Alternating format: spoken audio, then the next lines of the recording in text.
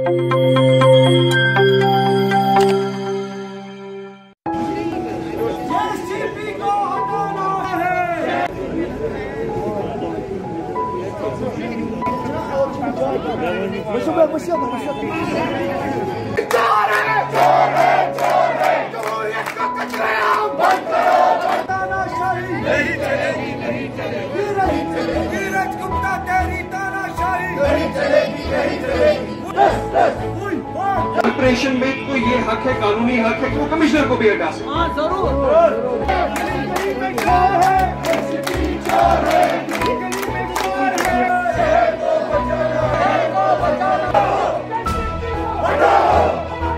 Honourable prime minister कहते हैं कि ग्राम राज के कंसेप्ट अर्बन लोकल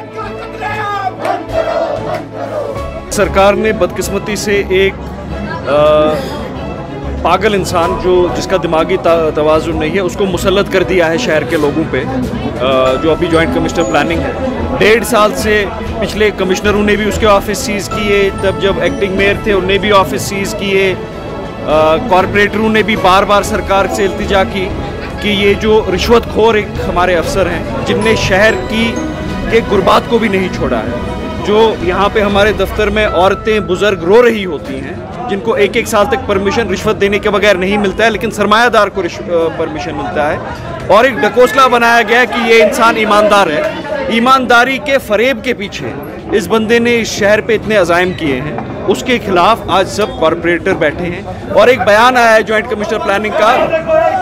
एक बयान आया है जॉइंट कमिश्नर प्लानिंग का कि एसएमसी के कॉरपोरेटर भी चोर हैं और एसएमसी के मुलाजमान। में तो फिर ये भी लिखा है कि जॉइंट कमिश्नर कोई हमारे अप्रूवल के बगैर नहीं लग सकता।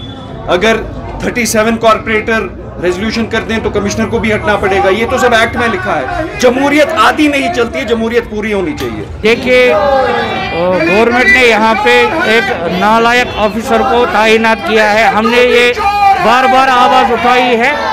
जो लोगों को यहाँ पे तकलीफ़ देते हैं, ऑफिसरान उनको वापस भेजा जाए। मगर गवर्नमेंट की कंसिड्रेशन में ये नहीं था।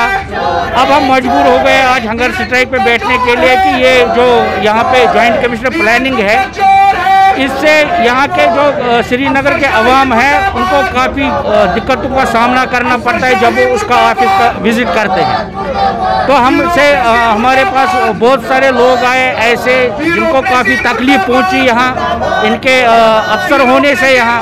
तो काफ़ी लोगों ने शिकायत भी की इसके खिलाफ। हमने बार बार गवर्नमेंट को ये लिखा भी है कि इसको वापस किया जाए।